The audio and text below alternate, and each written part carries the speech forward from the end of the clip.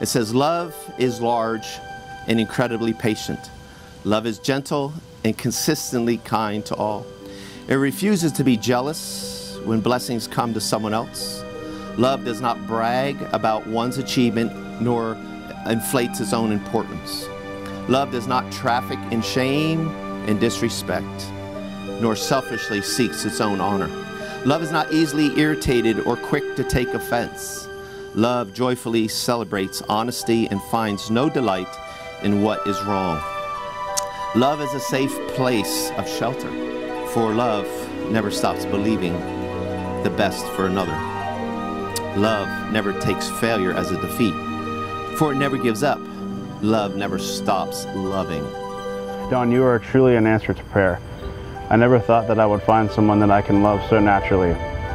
Loving you is easy, though I can assure you I will love you through all the ups and downs that this marriage has to offer. Most importantly, I vow to keep Christ first and foremost.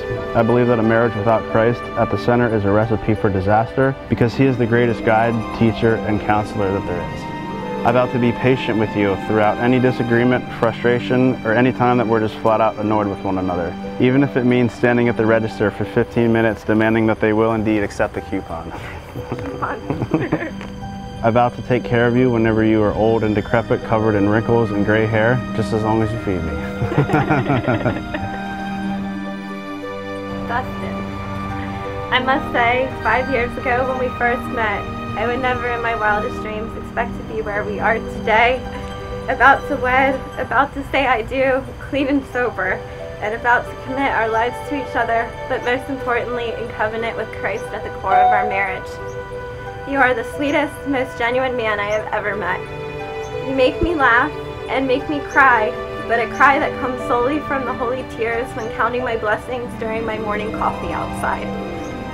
From this moment forward, I vow to be in complete covenant with you. I vow that my love from this day forward is unselfish. It's no longer just me, it's me, you, and Christ that now makes me whole.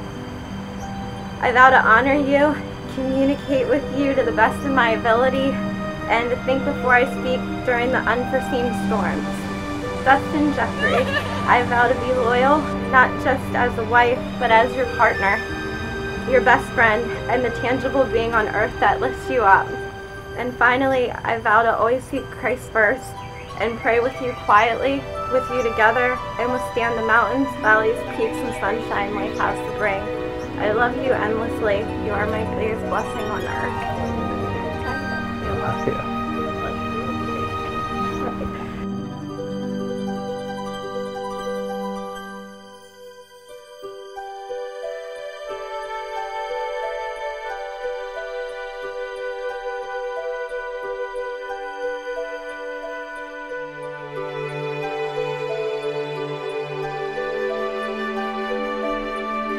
It is really my pleasure and my privilege to pronounce you husband and wife. You don't need permission, but you may kiss your bride.